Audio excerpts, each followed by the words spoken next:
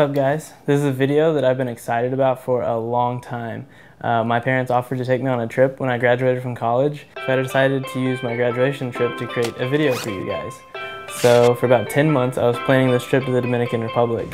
I read books, figured out all the spots I wanted to go, and for about 10 days I was traveling the Dominican Republic with my parents and with one of my best friends, Nehemias Lopez. He was there translating and he shot behind the scenes. Adrian said he was going to get some exciting shots, so there he is. Trying to get a good shot. Oh, there it is!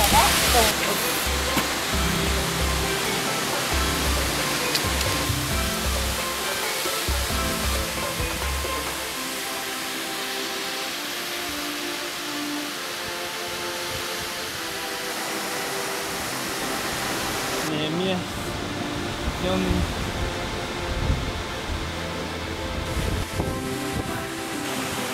Look at these. He can do everything.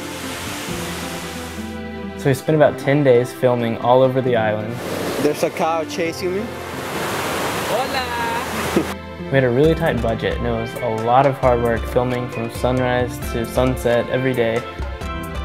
Alright, here we are driving to Constanza. GPS signal lost. But it was a ton of fun and we got to see so much cool stuff.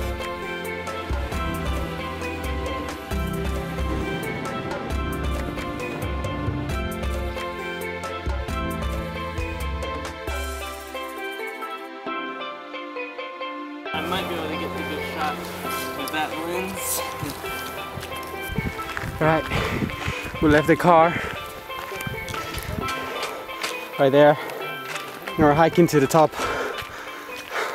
We went to some insane places, almost fell off the side of a mountain a few times, and I almost lost my camera in the ocean. Consider this a formal invitation to lose it. Yeah, you kid, being a cool kid, back at the arena watching my crew. So we're on top of this mountain outside of Constanza, and it's called Divino Nino. And I mean, just look, just look at the views. Like it's pretty awesome. The drive up here was insane. It's worth it. This film was inspired by one of my heroes in filmmaking, Devin Supertramp. A few years ago, he released a video on Kauai, and when I saw that video, I really wanted to make one similar, but in the Dominican Republic, because I haven't seen too many videos of the Dominican Republic. And the dogs came to say hi. Hola, duckies. The place to be, girl, you and I. So make moves if you're coming along. Hi Adrian, what are we doing? Trying to get a wave to break right in front of the camera and come under the camera, but Minute mile, you can see that my style is dialed in, and now I got more green than Ireland. It's the big leagues, baby, what you know about me? You can tell by the sound that I'm frequently clowning, and they suckers out like pins in an alley when I rally the fan from the valley to Cali. Then I ramble on like Robert Plant say. So I've been there about five times now and I absolutely love it. It's a really cool place. It's very diverse.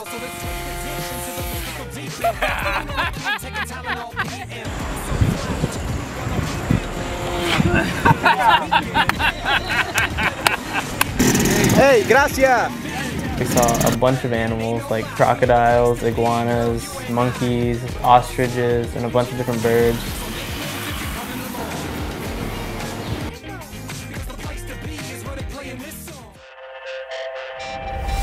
Más fuerte, quiero que griten. So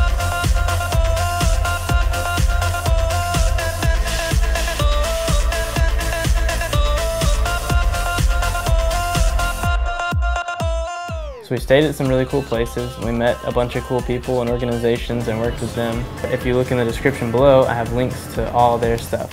And all these places helped us along the way. They sponsored the video by letting us, you know, have access to different things that we wouldn't have been able to and giving us some free stuff so that we could do this because we didn't have a budget. This is the sixth day in the DR. So make sure to look at the description, look at all the cool brands, and and I think it'd be really cool for all of you guys to go to the Dominican Republic because it's an awesome place to go vacation and hang out with your friends, go to the beach. And there's a bunch of other cool stuff to do there, outdoor excursions, kayaking, stuff like that. So make sure to look at the description and meet up with some of these brands, let them know that we sent you.